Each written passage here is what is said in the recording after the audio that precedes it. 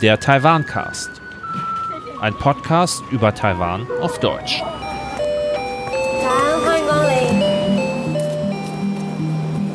Hallo und herzlich willkommen aus Berlin. Hier ist der Mariano und auf der anderen Seite des Globus.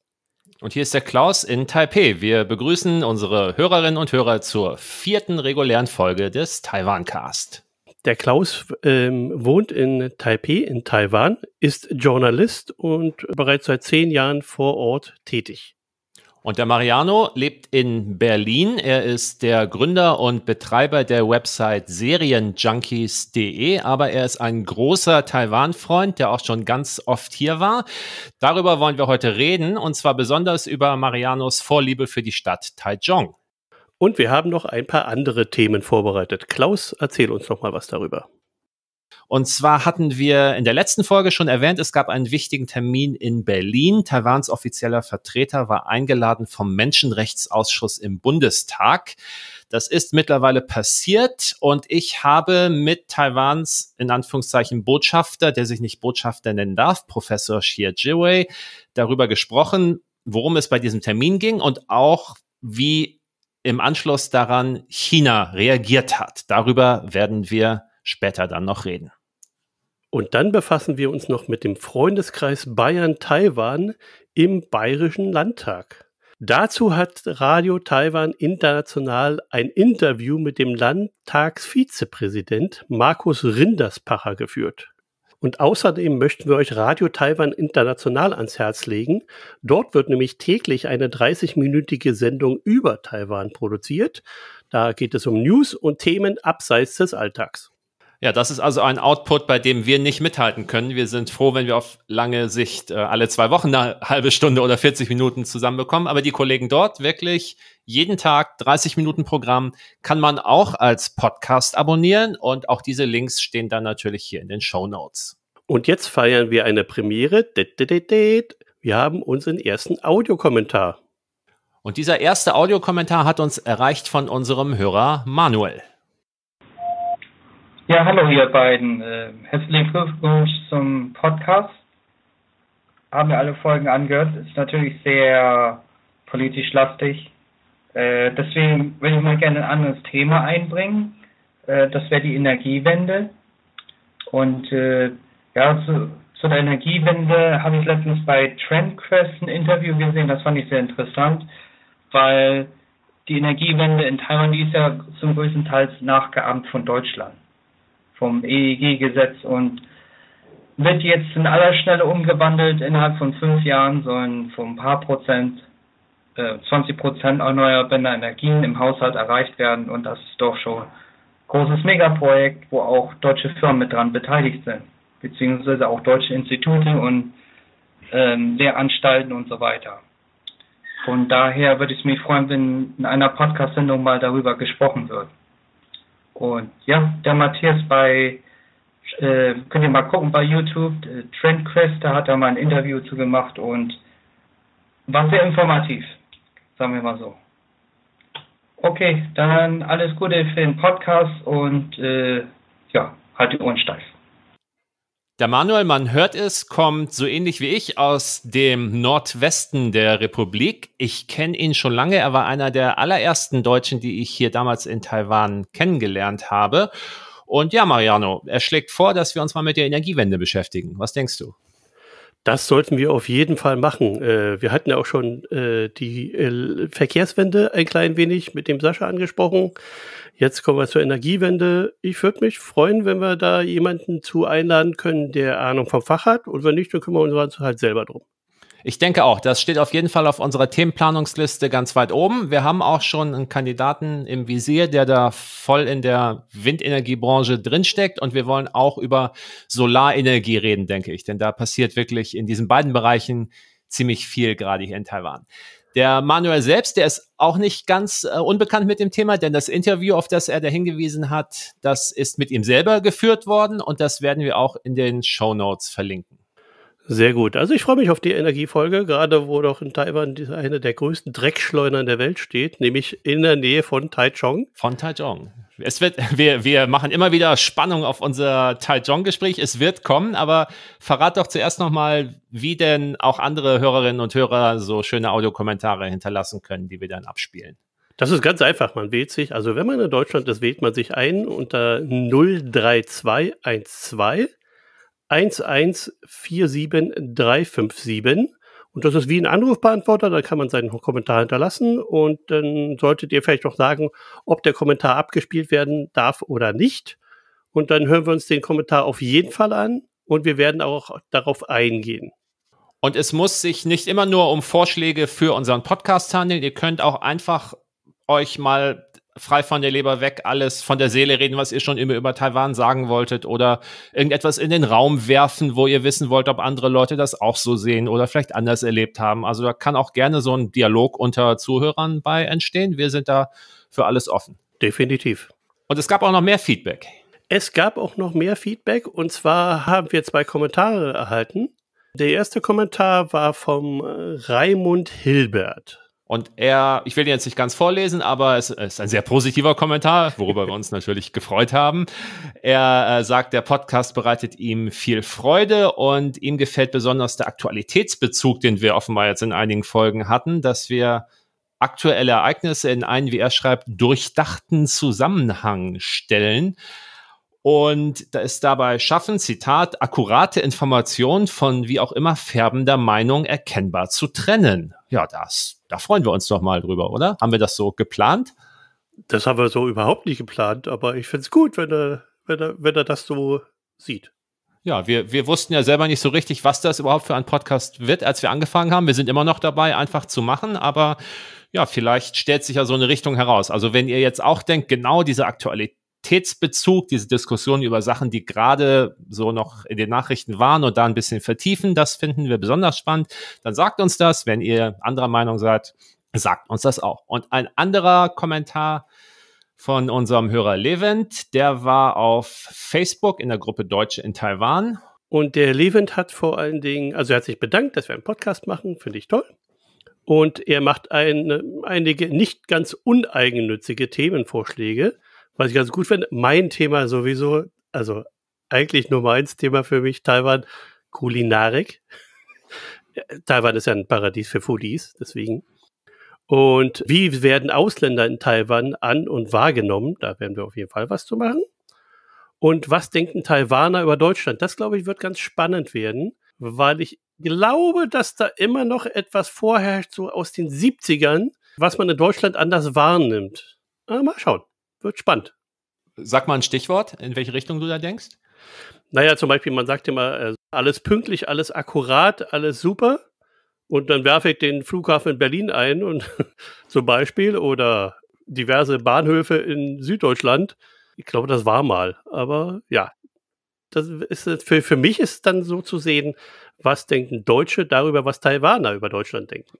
Okay, es, oh, es, wird eine sehr komplexe Diskussion. Eine Meta, eine Meta-Folge. Eine Meta-Folge. Aber wir haben auf jeden Fall auch dieses Thema ganz weit oben auf unserer Planungsliste. Das können wir schon mal verraten. Und der Levin schreibt auch, dass er selber hofft, nächstes Jahr nach Taiwan zum Masterstudium zu kommen. Also da drücken wir die Daumen, dass sich alles wieder normalisiert hat und dass das klappt bis dahin. Genau, definitiv. Dann hatten wir ja auch anklingen lassen, ob unsere Hörerinnen und Hörer Interesse haben, dass wir noch mal vielleicht eine extra Folge über Corona in Taiwan machen. Da war das Feedback, aber das, was angekommen ist, zumindest eher so, dass es hieß, muss nicht sein. Es ist schon alles gesagt worden, muss nicht auch von euch noch mal gesagt werden. Also wir sehen das genauso. Wenn ihr anderer Meinung seid, dann gebt uns gerne Feedback. Das geht über Facebook, über das Blog oder auch über einen Audiokommentar. Ich würde gerne unter die Folge noch zwei YouTube-Videos packen in die Show Notes. Ähm, einmal ein offiziell, ein semi-offizielles Video über Taiwan hat, Taiwan macht was anderes.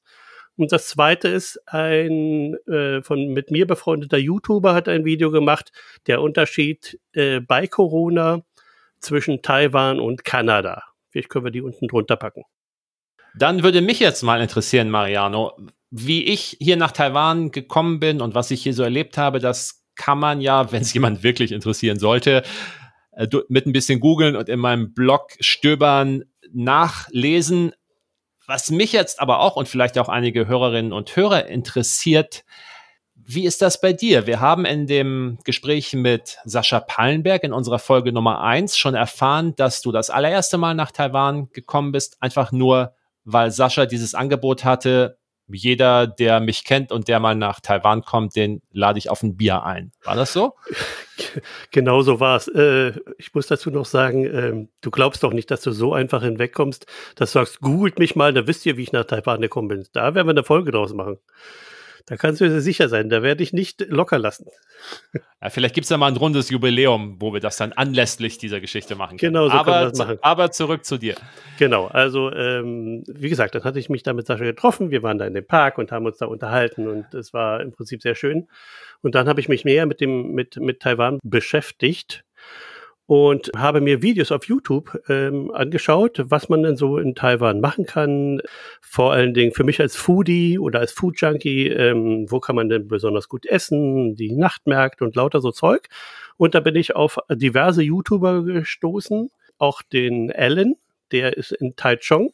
Und der ist durch Zufall bei YouTube gelandet. Er wollte einfach ein Videotagebuch machen für seinen Sohn, der bei seiner Ex-Frau in Südafrika lebt und äh, hat da quasi wöchentlich ein Video gemacht. Jetzt geht er was essen, jetzt guckt er sich hier und da. Das war sehr amateurhaft. Mittlerweile ist er YouTube-Profi mit über 200.000 ähm, Abonnenten. 200.000? Ja, ja. Und ähm, wow. ich hatte ihn damals noch äh, kennengelernt in Taichung. Da hatte er um die 70.000. Und da ging es halt darum, was macht er denn zum 100.000. Subscriber? Und da war halt geplant, auf den höchsten Berg von Taiwan zu gehen. Das hat jetzt irgendwie noch nicht geklappt, weil er noch ganz normal gearbeitet hat. Und er ist jetzt seit äh, einiger Zeit erst YouTuber, professioneller YouTuber. Und da war auch wieder dasselbe. Na, wenn du in Taichung bist, dann lass uns doch auf ein Bierchen treffen. Und bei Engländern ist das ja eher so, wie wenn man bei uns auf Pommes geht. Dann haben wir uns halt auf ein Bierchen getroffen. Und ich war halt zum ersten Mal in Taichung. Ich habe mich natürlich darüber, darauf gefreut, dass ich mit der THSR, also mit der Schnell, mit dem Schnellzug fahren kann. Das ist sowas wie der Shinkansen, bloß halt in Taiwan. Das war noch immer dein allererster Besuch. Wann war das? Nein, nein, das war dann der dritte Besuch schon. Mittlerweile, nein, der vierte der Besuch sogar. Nee, der vierte war das sogar. Ähm, zwischendurch war ich halt noch mal in Taipei und dann wollte ich mich noch mal mit Sascha treffen. Das hat nicht geklappt. Aber dann habe ich mich mit Brian getroffen. Der ist auf Instagram ähm, American in Taiwan. Der geht jetzt aber aus Taiwan weg. Er will jetzt zurück in die USA mit seiner Frau. Da hatte ich mich mit ihm getroffen und wir haben uns ganz gut unterhalten und ich habe mir mal auch Taipei ein bisschen angeschaut. Also die Sachen, die man halt macht. Wie zum Beispiel das Chiang Kai-shek Memorial und diverse Parks, weil Taipei hat ja wirklich wunderschöne Parks. Aber wie muss ich mir das vorstellen? Du warst das erste Mal hier und dann muss dir so gut gefallen haben, dass du gesagt hast, ich fahre ein zweites und drittes und viertes Mal. Hattest du einfach so viele Bonusmeilen über oder was, was hat dich dazu gebracht, immer wieder hierher zu kommen? Das Land, die Leute, das Essen. Ich weiß auch nicht, ob es in der Reihenfolge ist, aber das ist wirklich so. Also die Menschen sind ja herzensgute Menschen. Da gibt es auch, gerade auch bei YouTube, so die äh, Videos darüber, die Leute verlieren ihr Portemonnaie und da äh, werden sie dann angerufen, ich habe ihr Portemonnaie gefunden, ist noch alles drin, hier können sie es abholen. Ja, das sind auch wirklich keine urbanen Legenden, das passiert in der Tat, ja. Das, das ist wirklich, das ist, das ist wirklich wahr. Und dann muss ich ganz ehrlich sagen, und das ist es in Taichung genauso wie es in Taipei ist, mehr vom Land kenne ich leider noch nicht. Der öffentliche Personennahverkehr ist ja hervorragend organisiert. Also wenn man von, wenn man, wenn man irgendwo hin will, setzt man sich in die U-Bahn, setzt man sich in den Bus, das klappt hervorragend. Das ist nicht wie bei uns etwas, etwas chaotisch alles. Ja, es gibt sehr viele Mopeds. Da muss man auch mal ein bisschen von, von, von wegkommen. Aber der öffentliche Personennahverkehr ist super. Und für mich, jemand, der gerne mit dem ÖPNV fährt und der noch lieber läuft, ist für mich Taipei und vor allen Dingen auch Taichung das Paradies.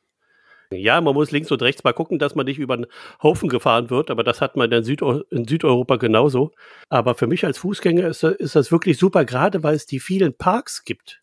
Eine meiner Empfehlungen ist auch, wenn mich Leute fragen, was kann ich denn hier in, in Taipei zum Beispiel jetzt machen oder in einer anderen Stadt in Taiwan? Ich sage dann immer, erlauf dir die Stadt einfach zu Fuß. Erwandere sie dir einfach zu Fuß. Geh genau. die kleinen Gassen lang, such dir irgendein Stadtviertel grob aus und dann lass dich einfach treiben. Halt die Augen auf und warte darauf, was du was du sehen wirst und was du erleben wirst. Das ist meiner Erfahrung nach der absolut beste Weg, Taiwan und auch das echte Leben in Taiwan, wenn es das denn gibt, kennenzulernen. Also nicht dem Reiseführer folgen, nicht irgendwelchen TripAdvisor oder ähnlichen Geschichten, sondern einfach dem eigenen Interesse und den eigenen Wahrnehmungen. Also ich würde sagen, also so mache ich es jedenfalls. Ich suche mir eine U-Bahn-Linie aus, fahre dort bis zum Ende, steige aus und gucke, was da gibt. Da habe ich schon die tollsten Sachen entdeckt.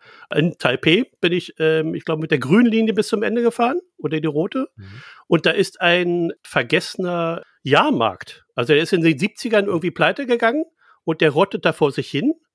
Und da kann man ganz hervorragend wandern. Man muss es erstmal finden, man muss da über so eine große Brücke gehen und dann so steil, so eine Straße links, rechts. Und dann landet man quasi nicht im Wald, aber eher so auf so einem Feld und dann ist man dort in diesem Park. Und das ist toll. Das, man fühlt sich da ja, wie Jahrzehnte zurückversetzt, was es ja auch ist. Und äh, ist der ehemalige Park auf so einem Hügel, oben auf dem Hügel? Ja, der drauf? ist auf einem Hügel, genau. Aber es ist nicht mehr so wahnsinnig viel über, oder? Man sieht noch, wo, wo mal was war. Es ist nicht mehr so viel da, aber man kann da hervorragend wandern, finde ich. Ja, ähm, das ist, wenn man die grüne Linie im Süden bis Shindian fährt, bis genau, zum Ende, genau. dann Bietern über die Hängebrücke geht und dann links genau, dann, den Hügel hoch. Genau, den Hügel links hoch, die kleine Gasse, einfach, einfach sich mal trauen. Da ist noch ein Kloster oder ein Tempel an dem muss man quasi vorbei und dann braucht man, muss man nur noch den Berg hoch und dann ist man schon da. Und bei diesen Streifzügen durch, durch Taiwans Städte entdeckt man auch manchmal Orte, wo man gar nicht glauben kann, dass sie einfach so hier existieren, einfach so da sind und auf einen warten. Ob das jetzt irgendwelche besonders schönen Tempel sind oder historische Häuser oder ganz schräge Geschäfte, wo man sich gar nicht vorstellen konnte, dass es die gibt. Und man macht auf diesem Weg die, die schönsten Entdeckungen. Definitiv. Und ich habe meine beste, beste Beef Noodle Soup, habe ich dort hinten dann gegessen. Am Bahnhof gibt es so eine kleine Gasse. Und da war so ein ganz kleiner Oma-Laden drin. Sie kein Englisch, ich kein Chinesisch. Ich habe ihr einfach gesagt, die Suppe will ich da essen. Dann habe ich die bekommen und die war, ach, sehr lecker. Wir müssen sowieso mal eine extra Essensfolge, glaube ich, machen. Oh ja. Aber du bist die meiste Zeit auf eigene Faust und ohne immer auf Chinesischkenntnis immer, und immer auch ohne, ohne lokalkundige Begleitung. Bist einfach los und. Genau, also heutzutage kann man ja Get Your Guide und wie die alle heißen, ja, kann man ja nehmen. Ja, das kann man machen. Und vielleicht sollte man das auch bei deiner ersten Reise machen, aber danach einfach vor allen Dingen keine Angst haben. Einfach sich reinsetzen, bis zum Ende fahren, aussteigen, gucken, wenn es einem nicht gefällt, fährt mal drei Stationen zurück und guckt, was da ist. Man entdeckt so viele Sachen. Das ist, das ist, das ist Abenteuer in der Stadt. Und wie gesagt, für mich als Fußgänger ist sowieso Taipei und vor allen Dingen äh, Taichung sind, sind wirklich hervorragende Städte. Also ich glaube nicht, dass man Taichung jetzt alleine mit zu Fuß erkunden könnte, aber das, was ich da schon erlaufen habe, das sind dann immer so 30.000 bis 40.000 Schritte am Tag. Da freut sich dann auf jeden Fall mein, mein Schrittzähler in meinem Handy immer, dass ich wieder einen neuen Rekord geschafft habe. Äh, es macht auch Spaß. Hast du denn bei deinen Streifzügen zu Fuß jemals das Gefühl gehabt, irgendwie dich nicht mehr so ganz sicher zu fühlen? Bist Nein, du mal in irgendwelche schlechten Stadtviertel gekommen? Gar nicht, nie. Ich, ich gehe fest davon aus, dass es auch in, in Taipei ein schlechtes Stadtviertel geben wird. Mir ist es noch nicht mhm. untergekommen, aber ich fühlte mich noch nie irgendwie unsicher ich bin auch, wenn ich mit Sascha unterwegs bin, geht das meistens sehr, sehr lange bis sehr, sehr früh. Und selbst wenn ich früh um halb drei dann zurück zu meinem Hotel laufe, habe ich nie das Gefühl, dass mich jemand verfolgt. Und wenn mich jemand verfolgt, sagt er mir, willst du noch ein Bier trinken gehen? Also das ist mir schon passiert, aber mir ist es noch nie passiert, dass irgendwie, auch vor allen Dingen Frauen können nachts durch Taipei oder durch Taiwan laufen ohne Probleme. Und nochmal Stichwort schlechtes Stadtviertel zum einen, man darf sich ja nicht von dem Äußeren der Häuser täuschen lassen. Also wenn man durch irgendwelche Straßenzüge läuft, die ziemlich abge, abgewrackt aussehen oder wo man sich denkt, hat ja schon mal jemand jemanden eine Farbrolle in die Hand genommen oder warum sind die Fenstergitter alle so verrostet oder warum ist der Beton so grau angelaufen. Davon darf man sich absolut nicht ablenken lassen. Das heißt überhaupt nicht, ob die Menschen, die da leben, arm oder reich sind, ob das ein gutes oder ein schlechtes Viertel ist. Und wenn du die Leute in Taipei fragen würdest, ob es irgendwelche in Anführungszeichen schlechten Viertel gibt, dann würden die meisten wahrscheinlich sagen, entweder Wanhua, also das rund um den Longshan-Tempel, oder die Linsen North Road, wo so ein bisschen das Rotlicht Viertel ist mit so japanischen Girly-Bars und so weiter. Aber gerade diese beiden Viertel lohnen solche Streifzüge also besonders, weil es dort natürlich besonders viele interessante Entdeckungen zu machen gibt. Und gerade in, in Wanhua auch viele historische Gebäude. Das ist da unten halt fast noch gar nicht gentrifiziert und man fühlt sich manchmal, als ob man durch so eine 80er Jahre Blade Runner Version von Taipei noch läuft. Aber selbst da, also man muss überhaupt sich keine Sorgen machen, da in irgendwelche gefährlichen Situationen zu kommen. Das war übrigens eine Sache, wo ich zurückkam aus meinem allerersten Besuch aus Taiwan. Da bin ich ja damals noch mit einem Taxi fahren. Mache ich heutzutage. Heute fahre ich mit der, mit der U-Bahn, wie jeder vom Flughafen aus. Bin ich aber noch mit einem Taxi fahren, weil ich nicht wollte, dass ich mich da irgendwie verfahre mit der U-Bahn. Und da ist mir halt aufgefallen, dass wirklich viele Häuser bräuchten wirklich mal einen Farbanstrich. Und dann mhm. hatte ich ein Video gesehen bei YouTube, passenderweise über Guam. Da hatten sie über die Renovierung vom Hilton Hotel gesprochen, was ein Jahr später genau so wieder aussah, wie es vorher aussah, obwohl Farbe neu hm. dran war. Es sind halt die Tropen. Und wenn es regnet, regnet es. Das ist einfach so. Ja, ja, Komma, aber als ich in Singapur war, das eine Mal, da war ich also schwer beeindruckt, wie proper und Disneyland-artig in Singapur auch die Wohnblöcke und die Wohnhochhäuser, die auch so 70er, 80er Jahre Bausubstanz sind, wie die aussehen. Also. Man könnte was machen. Die ja. haben auch heiße Witterungen da unten. Es ist schon möglich. Vielleicht auch nochmal ein Thema, wo wir ein anderes Mal in die Tiefe gehen können. So, aber jetzt warst du dann bei deinem vierten Besuch, hattest dich dann von Taipei nach Taichung verschlagen und genau. jetzt sagst du, Taichung ist jetzt dein Lieblingsort, den du am besten kennst und am liebsten magst in Taiwan, oder? Auf jeden Fall. Also wenn ich mir, wenn ich nach, äh, nach Taiwan ziehen würde und ich könnte es mir aussuchen, wo ich arbeiten würde, würde es auf jeden Fall Taichung werden. Ich liebe diese Stadt einfach. Erzähl noch mal, warum. Die meisten also in, in Taipei bald es sich halt natürlich aus verschiedenen Gründen, Hauptstadt, ja. äh, die meisten Unternehmen und so weiter. Viele Reisende sagen dann natürlich die Ostküste, Kenting im Süden. Mitteltaiwan fällt da immer so ein bisschen hinten runter. Was macht denn den Reiz der Gegend und der Stadt Taichung für dich aus? Ich kann es eigentlich gar nicht mal so richtig sagen, was, was das ist. Also Taichung hatte ja früher mal eine interessante Jazzszene vor allen Dingen, also musikalisch.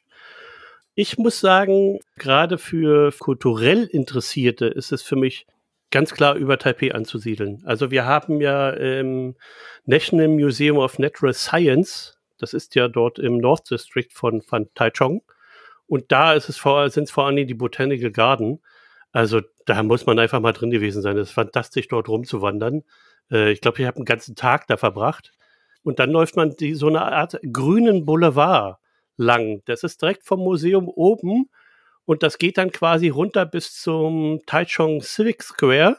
Auch nochmal ein großer, ein großer Park, würde ich nicht sagen. Es ist eher so eine große Grünfläche, die übrigens nur bevölkert ist von jungen Menschen und die sitzen alle entweder unter Bäumen oder im äh, Schatten eines riesengroßen Hochhauses. Ich hatte vorhin mal gegoogelt, wie dieses Hochhaus heißt, aber ich habe da leider nur chinesische Schriftzeichen gefunden.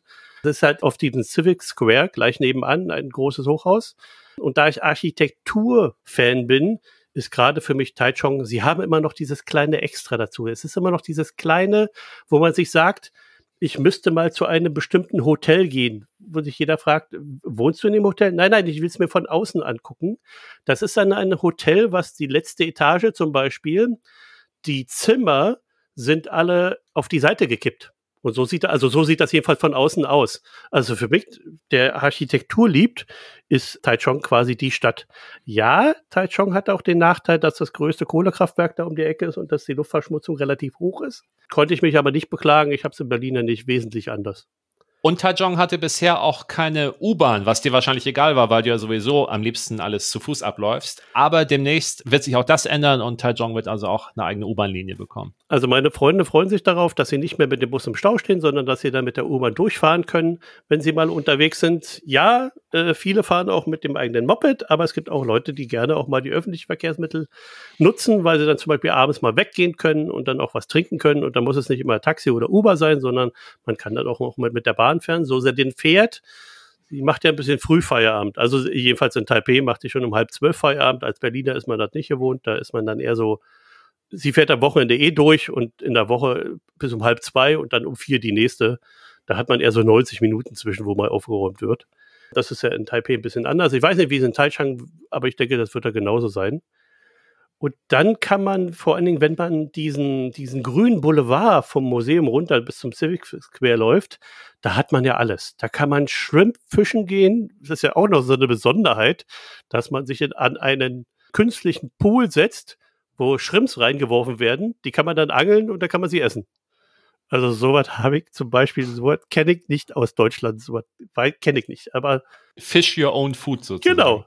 Und dann hast du dort Tempels, du hast Cafés, du hast Skulpturen dort. Es ist gerade, wenn man mit seinem Handy unterwegs ist, was heutzutage ja eine Kamera ist, oder auch mit einer Kamera unterwegs ist, kann man so viel ablichten. Ich habe, glaube ich, 800 Fotos an einem Tag geschossen und musste wenig davon wegwerfen, wo ich sage, dass sie doppelt sind. Also es gibt so viel dort zu entdecken. Früh los bis abends, da, also für mich ist Taichung da wirklich einfach fantastisch. Und dann habe ich noch, noch entdeckt, mein Hotel ist meistens am Taiwan Boulevard. Und wenn man den runterläuft, da läuft man an seinem so einem kleinen Fluss lang. Und das ist schon ganz toll, weil es da auch mal wieder, das ist ja für mich immer ein kleines Problem in Taipei, dass man wenig, also auf den Nebenstraßen eigentlich gar keine Fußgängerwege hat. Dass man aufpassen muss, dass man da nicht umgesemmelt wird von irgendeiner, von irgendeinem Moped oder irgendeinem Auto oder einem Bus. Da hat man dann direkt am Fluss dann auch wirklich, da kann man einen Fußgängerweg, da kann man dann zu Fuß langlaufen am Fluss. Und auf beiden Seiten ist das im Prinzip, da gibt's dann so ganz kleine Gassen und die sind begrünt und das sieht alles wunderschön aus. Da gibt's da kleine Cafés. Da habe ich auch für mich ein, Café entdeckt, das Kito Kito, ich spreche da garantiert viel falsch aus, Kito Kito Café, was eigentlich ja auch eine Boutique ist, aber die haben auch ein Café dabei. Und ja, es ist gleichzeitig eine Verkaufsfläche für die Endlagerung von nutzlösem Krempel, also man sagt dazu Dekoration. Aber ich finde es halt recht urig. Und das ist für mich dann immer, ich bin die Strecke schon jetzt dreimal, glaube ich, gelaufen.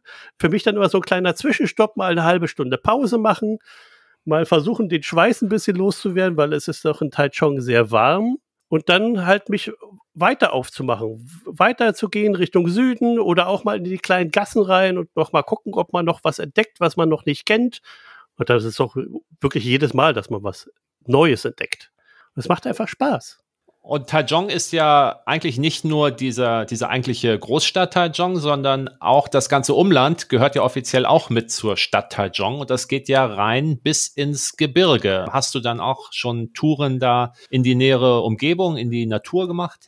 Also hätten wir diesen Podcast ohne Corona gemacht, würde ich jetzt sagen ja, weil es war eigentlich geplant, dass ich mich im März für drei Monate nach äh, Taichung verabschiede ähm, mich dort in ein Coworking Space setze, wenn ich arbeiten muss und arbeite. Und ansonsten würde ich halt mit Ellen so ein bisschen die Umgebung erkundigen und dann auch mal in den Süden von Taiwan fahren und dann mal die Ostküste fahren. Aber das hat sich ja irgendwie erledigt. Ich werde das aber beim nächsten Mal auf jeden Fall nachholen. Ich möchte auf jeden Fall auch mein Foto haben von diesem Taichung, von diesem Schriftzug, der quasi über der Stadt schwebt oder der über der Stadt ist, weil auf dem Berg ist, da möchte ich auf jeden Fall mein Foto haben. Das muss man einfach, glaube ich, gemacht haben. Und da möchte ich gern hinlaufen. Ellen sieht die Sache anders, aber mal sehen.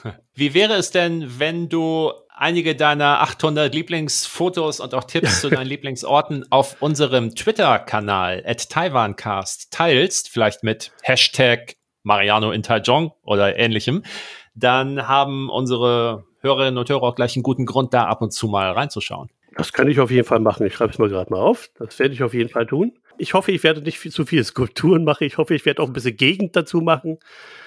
Aus dem Botanischen Garten, welchen, welchen ich sagen wir mal so, wir machen mal zehn Fotos. Das, sonst wird es halt zu viel. Es passen ja immer vier Fotos in einen Tweet. Also du kannst das ja ähm, thematisch ordnen oder ähm, nach Farben oder was auch immer. Ein Unterschied noch zwischen, zwischen Taichung und Taipei, der mir aufgefallen ist. In Taipei wird wesentlich mehr Englisch gesprochen. Muss man ganz klar sagen. Ich gehe dort meistens in Taichung in den Coworking Space Monospace heißt der, weil der halt zentral liegt. Brauche ich von meinem Hotel aus, bin ich da in 15, 20 Minuten hingelaufen. Da ist aber leider, leider immer das Problem, äh, mittlerweile kennt man mich mal, aber beim ersten und beim zweiten Mal war es so, ja, hier dürfen nur Mitglieder sein. Ich sage, naja, dann nehme ich einen Mitgliederpass für einen Tag. So funktioniert das in Coworking Spaces eigentlich überall auf der Welt. Hat gekostet 200 NT und dafür hast du halt Internet, dein Platz ist dabei, kostenlos Kaffee, Wasser und Tee.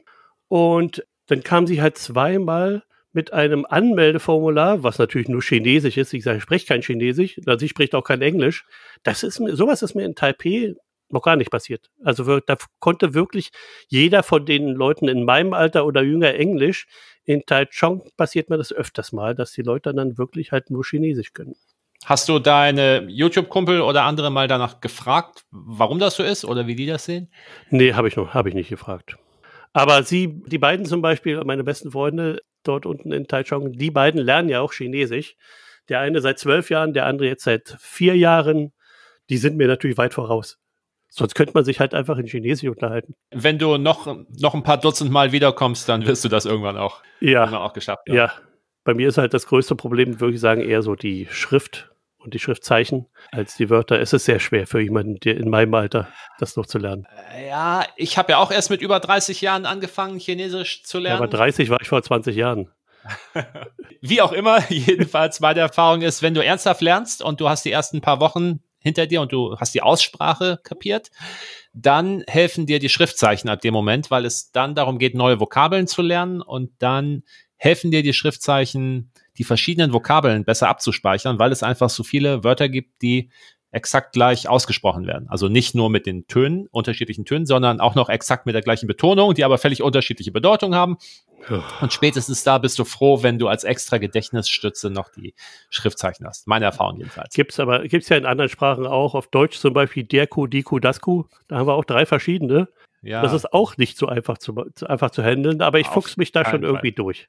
Ich hoffe ja auch, dass wir demnächst mal mit jemandem aus Taiwan sprechen können, der oder die Taiwanern Deutsch beibringt und dann können wir mal darüber reden, wie die Schwierigkeiten so rum denn sind. Gerne, gerne. Ich würde halt nur noch ähm, drei Tipps noch machen. Also wir werden auf jeden Fall bei den Shownotes, wenn wir das Café mit haben, die Botanik Garten und vor allem den Feng Chia Night Market, was ja der größte Nachtmarkt von Taiwan ist, habe ich mir sagen lassen und der ist schon groß. Da entdeckt man viele Sachen, wo man also teilweise habe ich Sachen gegessen, wo ich nicht weiß, was das war. Es hat auch nicht alles geschmeckt, muss man dazu sagen. Und ich bin kein Freund von. Hast du Fotos davon gemacht? Wir können es ja im Nachhinein von Stinky identifizieren. Foto, äh, von Stinky Foto, Stinky Tofu habe ich zum Beispiel, esse ich zum Beispiel gar nicht. Ich muss mal gucken, ob ich davon Fotos gemacht habe. Aber da bin ich eher so beim Essen anstatt beim Fotografieren. Man weiß dann sowieso nicht, was es ist. Und selbst wenn ich sage, guck mal, das war lecker, was war es? Keine Ahnung. Ja, sieht aus wie Hühnchen. Na toll.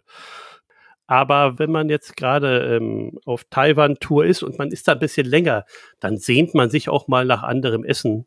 Es ist ja manchmal so einfach, also hm. ich sage ja nicht eine Leberwurststulle, aber manchmal oh will man. Gott, manchmal. Ja, manchmal schon, ja, doch. aber da gibt noch drei Tipps von mir, wenn man in Taichung ist. Also wenn man äh, zum Beispiel auf Chicken Wings steht, und zwar auf die, ich mag's ja, ich mag ja die scharfen Chicken Wings, wenn man auf die steht, kann man in den Uptowner gehen. Das ist auch alles zentral gelegen in Taichung. Äh, in den Uptowner gehen, da ist donnerstags nämlich der Chicken Wings Tag. Da gibt's Chicken Wings zum halben Preis. Auch sonst, wenn man hingehen will, um American Sports zu gucken, also Football, Basketball, Baseball, die haben im Prinzip alles da. Wenn man aber jetzt mal zum Beispiel auf die Premier League steht oder man will zum Beispiel Rugby gucken, da geht man am besten ins Britannia Bistro. Da ist ein Engländer, der hat, glaube ich, zehn Jahre in Südafrika gelebt, 20 Jahre in Saudi-Arabien und ist dann irgendwie in Taiwan, er sagt immer so, hängen geblieben, hat eine taiwanische Frau mittlerweile und betreibt da jetzt quasi ein Bistro, was aber eher so eine Kneipe ist. Und da läuft dann immer, äh, läuft oh, sogar Cricket, also wer sich dafür interessiert. Und in der Nähe von meinem Hotel im Taiwan Boulevard ist das, das spricht bestimmt falsch aus, Zhangmen Café und Brewery. Und die haben 34 Sorten Bier vom Fass, unter anderem hm. auch zwei deutsche. Da schau her. Ja. Taichung für Neulinge. Genau. Vorgestellt von Mariano. Genau. Falls man noch ein Hotel einen Hotelhinweis braucht, also mein Hotel hat ja jetzt leider zu, aber für Leute, die zum Beispiel äh, Aviation Geeks sind, also Leute, die gerne durch die Gegend fliegen, es gibt das Taichung Airline Inn. Da ist quasi alles drinne in seinem Zimmer wie in einem Flugzeug ausgestattet. Ich merke schon, auch Taichung. Taichung hat so seine, seine interessanten Ecken, ja, ja. Steckt voller Überraschungen, ich merke es schon. Bitte alles verlinken und vertwittern. Auf jeden Fall. Ich denke, dass wir jetzt an der Stelle den Sack mal langsam zumachen können. Ja. So viel zur schönen Stadt Taichung. Auch da sind wir gespannt auf das Feedback unserer Hörerinnen und Hörer. Vielleicht haben wir auch einige, die selber dort in der Stadt leben und uns erzählen wollen, ob wir das jetzt äh, alles richtig sehen oder ob das dort ganz anders ist. Also da bin ich auch gespannt. Wir freuen uns aber generell natürlich über jegliche Art von Feedback. Die Möglichkeit zu Audiokommentaren hatten wir ja schon erwähnt. Noch einmal die Telefonnummer 03212 114 7357. Aber es gibt natürlich noch ganz viele andere Kanäle, auf denen ihr uns eure Meinung und Vorschläge hinterlassen könnt. Wie ihr wisst, ist Apple Podcast das Gold des Podcasts. Das heißt also, wenn wir dort viele, viele Bewertungen haben und schöne Kommentare, werden wir entsprechend höher gelistet. Und das wünschen wir uns doch sehr. Dann haben wir noch mehr Zuhörer und können uns noch mehr auf tolle Themen konzentrieren. Deswegen bewertet uns gerne bei Apple Podcast und hinterlasst ein nettes Review. Vielen Dank. Oder wenn ihr auf einem der vielen, vielen anderen Wege diesen Podcast hört, würden wir uns in jedem Fall auch freuen, wenn ihr uns zum Beispiel auf Twitter folgt, sofern ihr auf Twitter seid. Da sind wir unter @taiwancast und haben zu dem Zeitpunkt dieser Aufnahme auch schon immerhin fast 100 Follower. Das ging wirklich schnell. Außerdem könnt ihr uns über Patreon unterstützen und die Einnahmen werden benutzt, um die Serverkosten zu tragen. Denn das Podcast-Hosting und auch einige der Services, die wir hier benutzen, die kosten ab einer bestimmten Nutzung einfach ein paar Euro jeden Monat. Und wenn ihr sagt, ich höre das jetzt schon die fünfte Folge oder die vierte Folge und ich finde das äh, interessant und ihr könnt euch vorstellen, das mit, was weiß ich, drei Euro im Monat zu unterstützen, dass wir da unsere laufenden Kosten tragen, würden wir uns freuen, ist aber keine Pflicht und es ist ja auch nicht geplant, eine Paywall oder ähnliches aufzubauen. Definitiv nicht.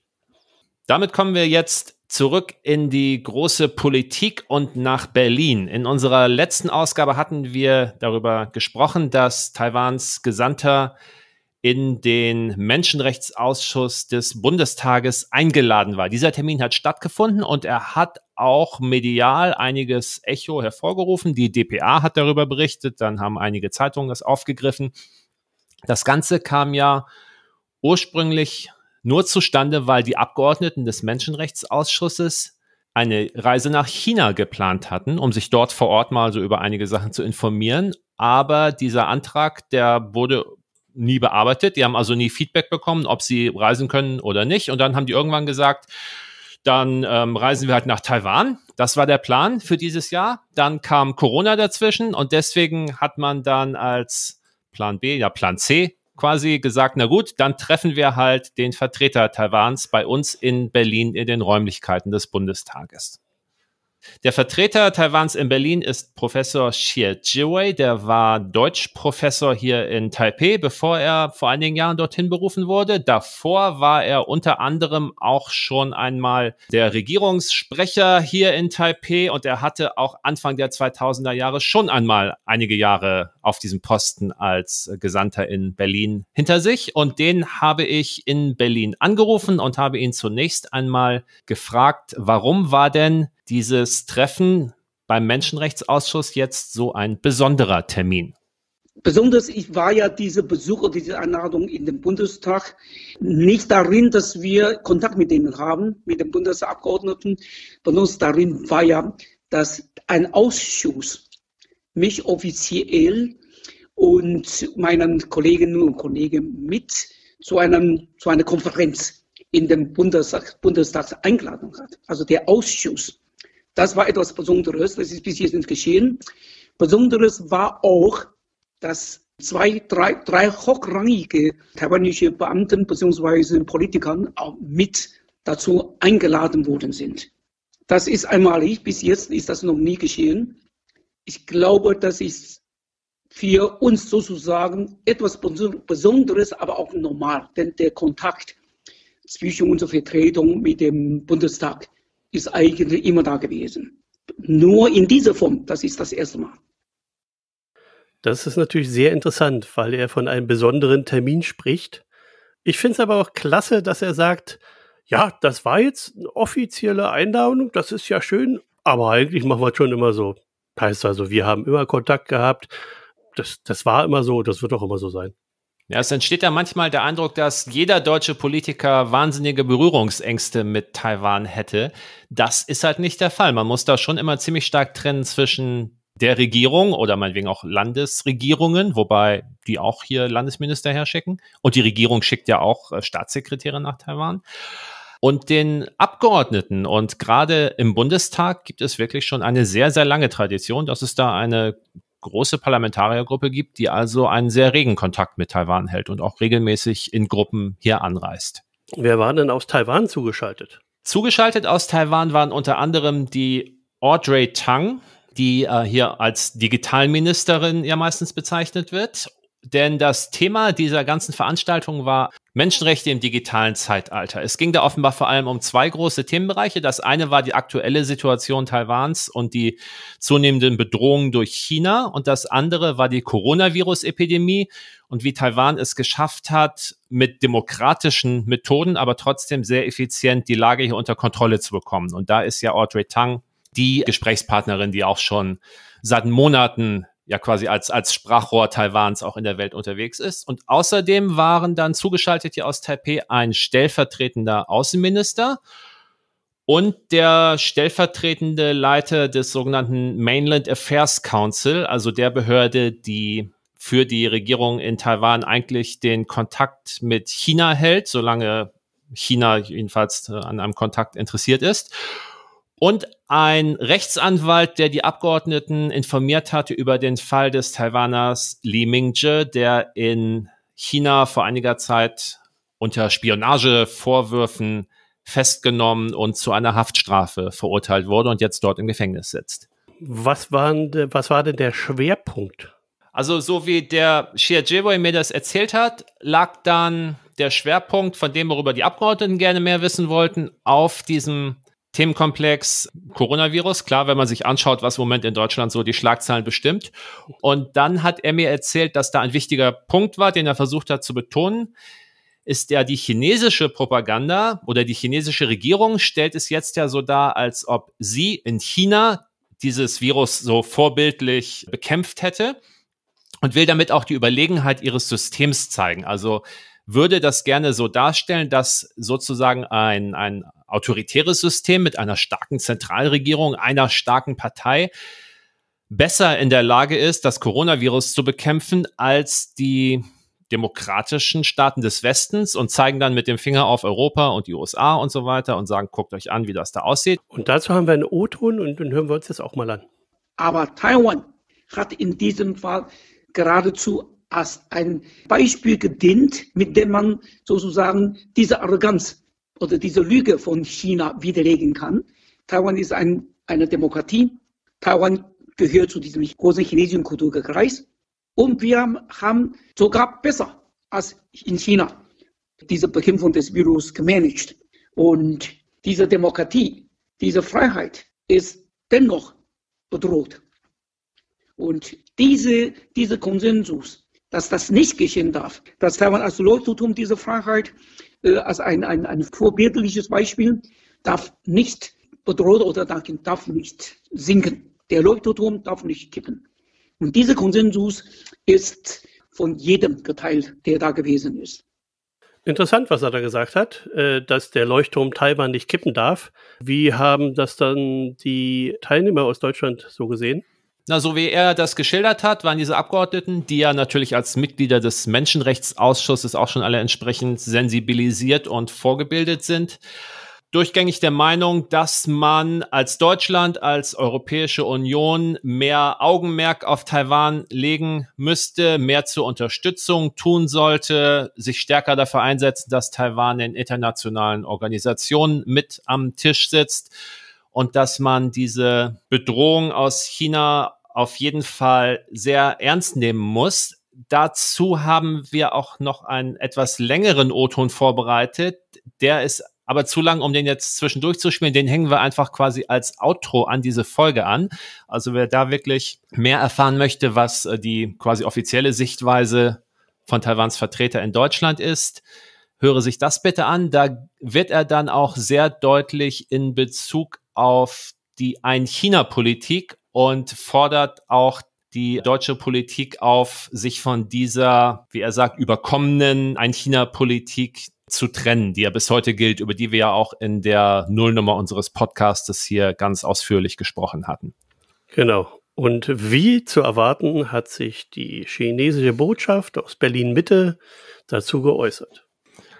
Später wurde dann eine deutschsprachige Protestnote veröffentlicht, unter anderem auf der Website der Botschaft, wird auch verlinkt. Möchtest du mal die schönsten Stellen daraus zitieren? Ja, für mich, wie, es gibt, äh, ja, naja, also das, der sogenannte Repräsentant, Repräsentant Taiwans, also auch noch in Anführungsstriche gesetzt, das erinnert mich wieder an die Bildzeitung in den 70ern, die sogenannte DDR. Es gibt wieder, es wird wieder darauf, an, darauf angewiesen, dass Taiwan ist ein untrennbarer Bestandteil Chinas. Und vor allen Dingen ganz am Schluss wird da wieder gesagt, das ganze chinesische Volk wird sich nicht beirren lassen in fester Entschlossenheit und diese Worthülsen, die sie da immer durch die Gegend werfen. Ja, naja. Also wir sollen uns nicht in die inneren Angelegenheiten Chinas einmischen. Also wir haben nichts zu sagen zur Taiwan-Frage und wir haben nichts zu sagen zum nationalen Sicherheitsgesetz für Hongkong. Und Sie sagen auch ganz explizit, in letzter Zeit haben einzelne deutsche Politiker das Ein-China-Prinzip missachtet, sich in die inneren Angelegenheiten Chinas eingemischt, indem sie die Taiwan-Frage und Hongkong, jetzt Zitat, für ihre eigene politische Agenda missbrauchten, was für das chinesische Volk äußerst inakzeptabel ist. Zitat Ende. Genau, das ganze Volk wieder. Also wenn der, der, der CCB irgendwas nicht passt, ist immer das ganze Volk dran. Kurz darauf hat dann die Vorsitzende des Menschenrechtsausschusses, die FDP-Bundestagsabgeordnete Güde Jensen, auf Twitter zu dieser Protestnote Stellung genommen. Sie schreibt, ich würde diesen Termin immer wieder so, so planen, denn die FDP-Bundestagsfraktion äh, setzt sich für die Einhaltung von Völkerrecht und universelle Menschenrechte ein. Und hat so recht. Da nutzt sie die Gelegenheit, gerade noch mal ein bisschen Werbung für ihre Partei zu machen. Ist ja legitim, aber der Kernsatz, ich würde diesen Termin immer wieder so planen, finde ich durchaus äh, bemerkenswert. Genau. Auch über diesen chinesischen Protest habe ich mit Taiwans Gesandten Xie Jiwei geredet und er hat das in einen ganz interessanten Zusammenhang gestellt. Und zwar hat er angemerkt, unmittelbar am Tag nach diesem Termin im Bundestag kam diese Protestnote zunächst auf Chinesisch raus. Also das war den chinesischen Diplomaten oft mal das Wichtige, auf Chinesisch zu protestieren. Und dann hat es noch einmal gedauert, bis sie diese deutsche Version veröffentlicht haben. Und er hat eine Theorie, was dahinter stecken könnte. Da bin ich gespannt. Hören wir mal rein. Die wollen sozusagen nur eine einseitige Message schicken an die eigene Regierung beziehungsweise an die Chinesen zu Hause, die ja nicht der deutschen Sprache mächtig sind, die ja all das, was sich abgespielt hat am Tag davor im Bundestag, äh, nicht mitkriegen können. Aber ich glaube, der Grund, warum sie das nicht gleich getan haben, war ja, die wissen innerlich, dass sie sich im Unrecht sind. Aber das müssen die tun. Und das ist für mich ein Zeichen, dass die Chinesen, die, also die Betonköpfe in, in, in Peking, schon gespürt haben. Es gibt einen, einen deutschen Spruch und eine Redewendung, der Krug geht so lange zum Brunnen, bis er bricht. Die Chinesen haben es zu sehr auf die Spitze getrieben, haben es übertrieben. Die Europäer, die Deutschen insgesamt die sind jetzt ungeduldig geworden. Die, sind, die lassen sich nicht mehr alles gefallen, was die Chinesen meinen, was die äh, sich leisten können. Ja, man merkt natürlich eindeutig, dass diese Kommentare, die dort abgegeben werden, grundsätzlich leere Rhetorik nur sind. Und er meinte natürlich auch, die ähm, Diplomaten, die sehen das wahrscheinlich genauso. Es ist einfach nur leere Worthülsen, die sie eigentlich immer abgeben und vor allen Dingen damit können sie nicht mehr punkten. Ich glaube, das haben sie eingesehen. Und er sagt ja auch, und das ist ein interessanter Gedanke, dass seiner Vermutung nach die chinesischen Diplomaten eingesehen haben, dass sie, egal was sie machen, nicht mehr punkten können, weil sie schon so viel diplomatisches Porzellan zerschlagen haben, Sympathien zerstört haben und so weiter. Gerade in den letzten, ja, vielleicht zwölf Monaten durch diese sogenannte Wolf Warrior Diplomatie, also dieses ganz aggressive und großspurige Auftreten im Ausland.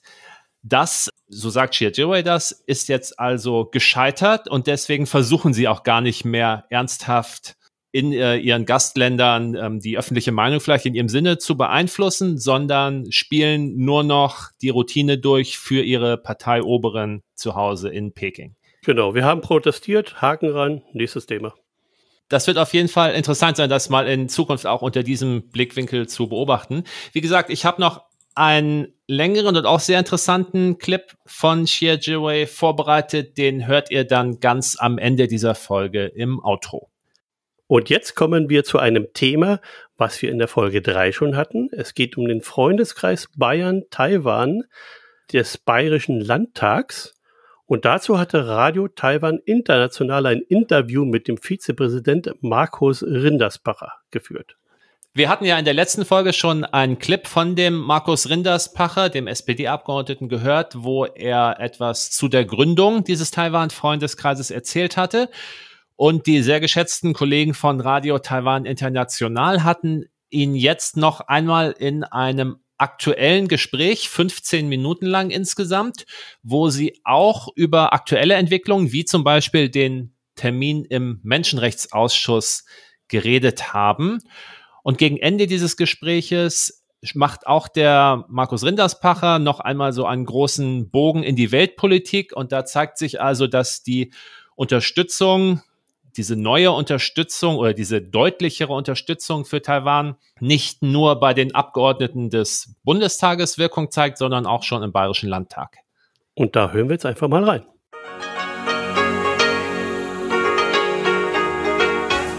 Hier ist Radio Taiwan International.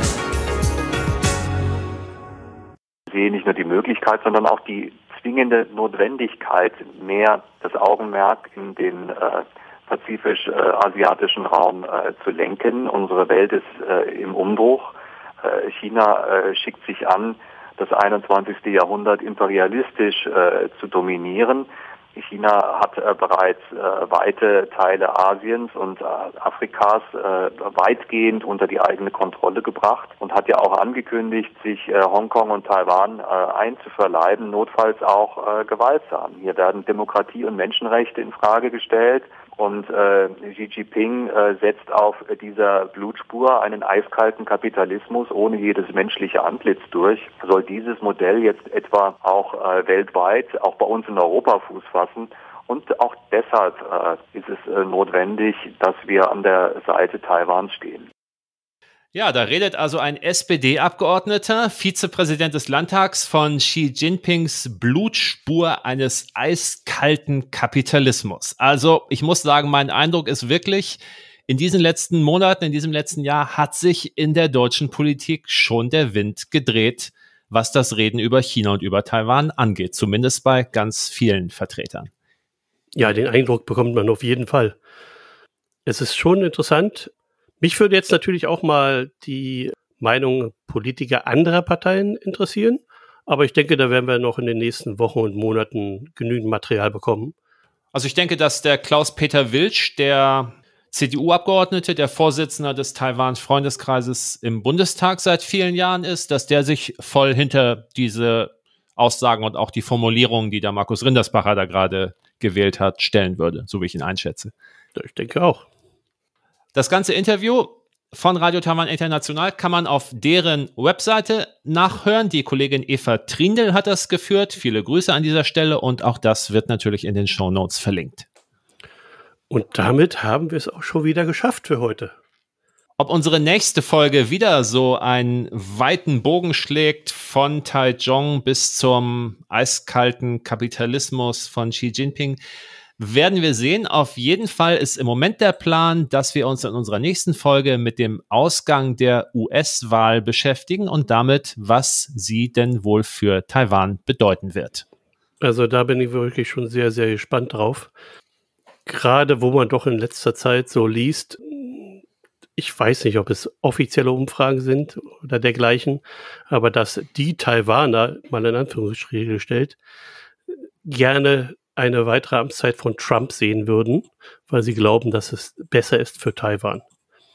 Ja, das ist tatsächlich eine sehr verbreitete Meinung hier. Es gibt tatsächlich Umfragen, die meinen festgestellt zu haben, Taiwan sei das einzige asiatische Land, in dem eine Mehrheit der Bevölkerung sich eine weitere Trump-Amtszeit wünscht. Aber ich denke, da werden wir dann ins Detail gehen. In der nächsten Folge, wenn wir auch schon das Ergebnis kennen. Denn wenn ihr jetzt diesen Podcast hört, vielleicht hat die Wahl dann ja auch schon stattgefunden. Also wir wollen lieber aktuell bleiben und reden dann nächstes Mal darüber, was wirklich passiert ist. Genau, und wir hoffen natürlich wieder auf zahlreiche Kommentare. Auch als zu dieser Folge. Wenn ihr Fragen zu Taichung habt, könnt ihr sie gerne stellen. Wenn ihr Fragen habt zum Freundeskreis Bayern Taiwan im Bayerischen Landtag, könnt ihr sie stellen. Oder wenn es um den Menschenrechtsausschuss ge geht, auch gerne zu uns. Wir haben eine Telefonnummer, da kann man Audiokommentare hinterlassen. Das ist die 03212 1147357.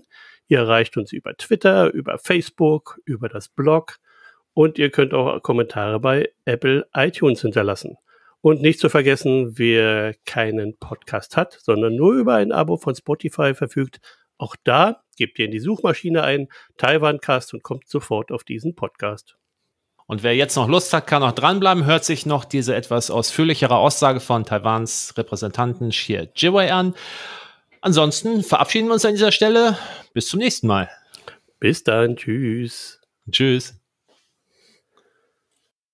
Wir haben jetzt festgestellt, dass es ist an der Zeit ist, dass Deutschland so, so als der, als der Anführer wirtschaftlich wie auch strategisch eigentlich von der EU, von den 27 Mitgliedstaaten, dass von Deutschland aus noch mehr getan werden, werden sollte, wie zum Beispiel was Taiwans Teilnahme, internationale Teilnahme an diesen verschiedenen, also WHO ist ein gutes Beispiel, oder sogar in der UNO, dass Taiwan in welcher Form auch immer mit einbezogen werden sollte, mit ins Boot geholfen werden sollte. Und was wichtig ist, das tut nicht nur Taiwan gut, das wird sich dann auch günstig für Deutschland, für EU und für die ganze Welt der Freiheit. Man hat auch festgestellt, es ist an der Zeit, es ist also an die Zeit gekommen, dass man den chinesischen Regime in Peking gegenüber noch ein bisschen härter, direkter, frei von der Leber sagen, was man wirklich auch denkt. Und entscheidend wichtig ist, das habe ich dann auch mit dazu beigetragen, denn ich habe gleich zu Beginn für 20 Minuten gehabt, um ein Statement zu geben über, darüber, was wir denken, was wir von uns denken, was wir von dieser, von dieser kritischen Lage, in der Taiwan sich befindet in der letzten bisschen Zeit. Ich habe gesagt, es ist die Zeit gekommen, dass nicht nur Deutschland, nicht nur die EU, sondern die Wertefreiheit den Begriff ein China-Politik ernsthaft überdenken soll, beziehungsweise über den Bord werfen müsste. Denn ein China-Politik ist Gegenstand geworden in den Augenblick, wo Taiwan äh, das Kriegsrecht aufgehoben hat im Jahr 1987 oder spätestens als das Parlament von Taiwan gänzlich nur von den Taiwanern gewählt wurde oder spätestens vier Jahre danach, äh, als die Taiwaner im Jahr 1996 direkt unseren eigenen Präsidenten, also Li Denghui, gewählt haben. Spätestens also 96 ist diese, diese Ein-China-Politik Gegenstand geworden. Wir machen deren Alleinvertretungsanspruch auf China ja nicht mehr streitig. China ist China, Taiwan ist Taiwan. Taiwan ist Demokratie, China bleibt leider immer noch keine Demokratie, sondern eher Diktatur. Daher habe ich gesagt, man soll diese, diese Ein-China-Politik wegschmeißen. Statt Ein-China-Politik soll man eine China-Politik haben. Und neben der hat man dann den Spielraum für eine Taiwan-Politik. Und das heißt, nur so kann man das Übel an die Wurzel packen. Ja, die Chinesen würden sich darüber aufregen, aber warum soll man etwas Gutes nicht tun, nur weil sich, weil sich die Chinesen darüber sich aufregen?